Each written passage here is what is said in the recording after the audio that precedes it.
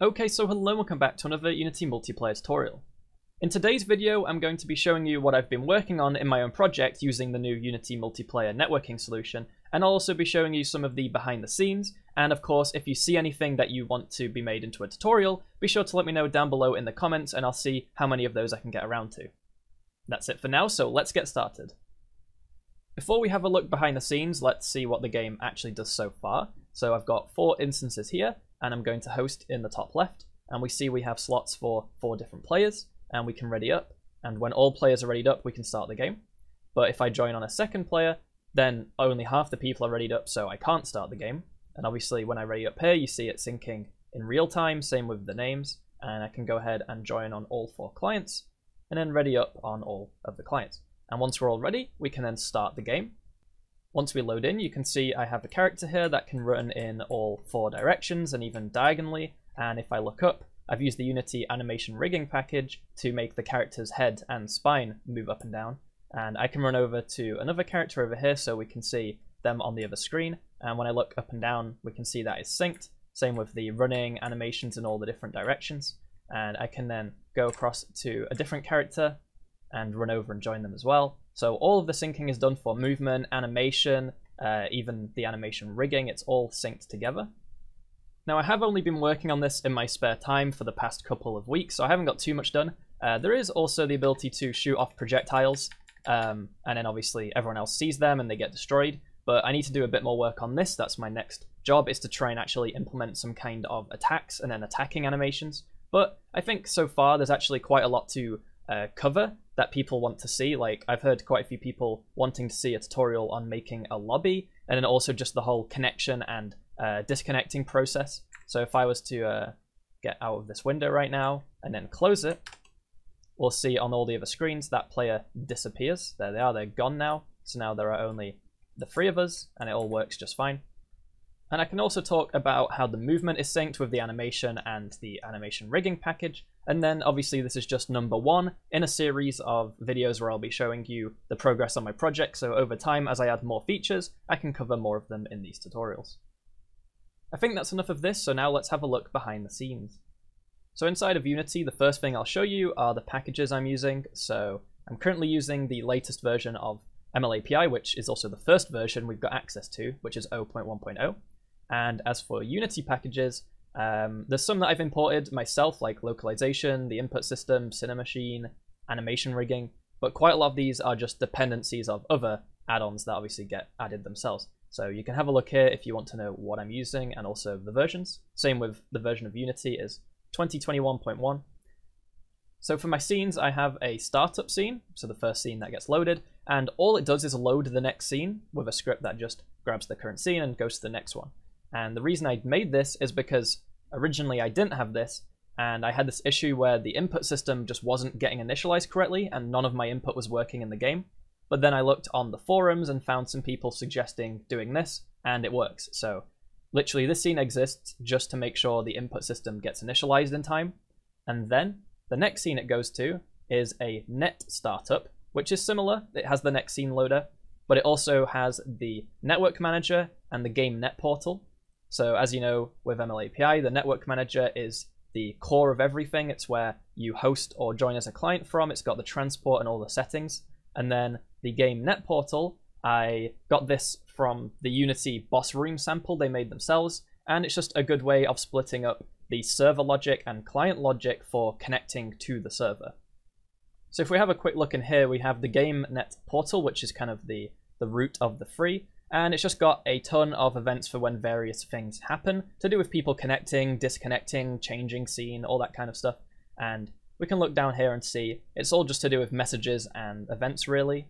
Um, if we go and look in the server net portal, it's obviously server related logic for this, and it stores the clients that are connected, which scenes they're in, uh, their data, so basically their name, and it has various events here for doing server side things. And then we can also start a game. Uh, we have logic for what happens when people connect or disconnect.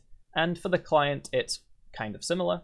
If we have a look in here, just a few more events for when things happen, like connection timeout. So if you fail to connect to a server, or when you uh, do finish connecting, or if you disconnect and why, and all these various events here. So these three scripts are really just a ton of events for handling connecting and disconnecting. And then once we are done with this scene, it will load the next one, which is the main menu. So go to the main menu, and here you can simply start as a host, start as a client, enter the name, and this testing toggle will simply change which scene we go to. So we can go to the testing map, which requires a minimum of one player, which saves me from having to build and run a separate client. I could right now hit play, uh, give it a second, and then if I hit host with testing on, I can just ready up and play on my own and test everything myself. So this makes testing a lot faster for when I'm just testing, like let's say the character controller. I don't need to have other, uh, other players connected to test that. I think now would be a good time to give a quick shout out to the Kiwi Coder. He has some tutorials on animation rigging and animating and rigging in Blender, as well as, like I said, using the Unity animation rigging package. So this is more FPS focused, but it still uh, applies to what I want to try and do. So these have been really helpful for getting set up with a simple animated character. So go check his stuff out if that's something you're interested in doing. I'll also put a link down below to the Unity multiplayer documentation and sample so you can get access to that if you want. And also, I've been using this software called Codecks for project management. I know there's tons of project management tools out there, but I've seen this quite recently, and it has a bit more of a game dev uh, focused twist on this. So I think it actually works very well. Quite simple, you just make cards, you assign people to the cards, you can set the cards for particular milestones, how much effort or priority they have. You know, it's pretty simple, but it's also quite powerful, and I think it's just quite nice to use. Um, I'm using it solo right now, but if I ever added more people to my team, of course, you can add people and then assign them to the various cards, categorize them, uh, put them in milestones, like I said, and just see everything you've done here.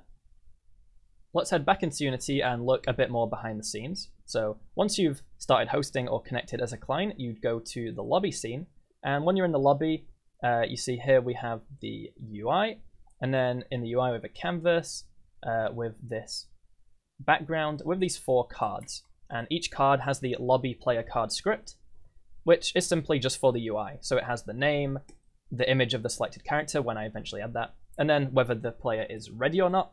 And all that happens is whenever the player does something, such as joining or changing whether they're ready or not, this method will be called, passing in their state, and the state has an ID, a name, and a bool for whether they're ready. So in ML API, there are built-in types that you can sync over the network, but you can also create your own. So here we go, I've created my own struct with the interface i network serializable, and all you need to do is just implement this method here, network serialize, and you just do this for each of the various um, data fields that you have inside of here. And by making this custom type, you can then go to the lobby UI, and I can have a network list of type, lobby player state. And if we look down here, you can subscribe to the list changing, and then the method for when the list changes is down at the bottom. And we just simply loop over uh, all of the players, and we either update their display with the new data, or we disable their display, and that will only happen if they leave, basically. And then the host has the start game button and we set whether it's interactable or not based on whether everyone is ready. So the first thing it does is make sure that we have enough players in the game. So right now I'm allowing it to start with one player, but obviously it might be a two player minimum eventually. And then once we have enough players in the lobby, we want to make sure that everyone who is in the lobby is ready or not. And if at least one person is not ready, it's false. But if everyone is ready, then it's true. And then we have the ability to start the game. So down here, the start game button calls a server RPC, and all it does over here is say if the person who sent the request, sent the RPC, is not the um, local client for the server, aka the host, then we return. Because right now only the host can start the game. But eventually we'll just assign the first person who, uh, the first client who joins, they'll be like the lobby leader or the party owner, and they'll be the one who's allowed to start. But for now, it's just the host. And then, yeah, on the server side, make sure everyone's ready. And if everyone is ready, start the game. And then we go back into Unity, we jump over to scenes, and we go look in the test map. And we'll see over here, I have this thing called the round system. And this is what kind of kicks everything off. And at the moment, all it does is just spawns in players but it will also handle the countdown and storing all the players who are still alive and you know ending the round when uh, there's one player left standing, and all that kind of stuff. So all it does is it says uh, when this object starts existing, if it's on the server side, it goes through all the clients that are connected and puts them in a list. And then whenever a uh, client tells the server through an RPC that they are ready, then it basically says uh, if they are not in the list, then return. And that stops them, you know, requesting it twice and then getting spawned in twice. So it's just to stop that case. Um, so if they are still yet to connect, then we can spawn them in, which just spawns in uh, the player prefab and then um, spawns it in for this client ID, which just gives them ownership. And then we also remove them from the list, and we check if the um, how many players are left, and if it's zero, then we just log everyone is ready. But this is where the game would actually uh, start, because everyone is loaded in. So yeah, that's pretty much the basics of everything I've got. You can have a quick look at the movement script, and we see up here, um, it's currently all just in one script, though I do want to spread it out into some kind of state machine eventually, so that I can actually separate the logic out for all the different kind of movement states, whether it's jumping or sliding or whatever. But for now, for prototyping, it's just in one script, and this handles updating the animator, um, and then if we look down here, in the update method, the owner calculates the movement and does all of that stuff, and then it's synced using a network transform component. Eventually, I do want to make this movement be server authoritative and have client-side prediction, and ML API, they are actually working on making that themselves out the box, but right now, if you wanted to do this, you'd have to make it all yourself, and I'd rather just focus on making gameplay right now and worry about that later. So technically, yes, people can cheat and hack their movement relatively easily if they knew what they were doing, uh, but at the moment I don't really care since I'm just prototyping.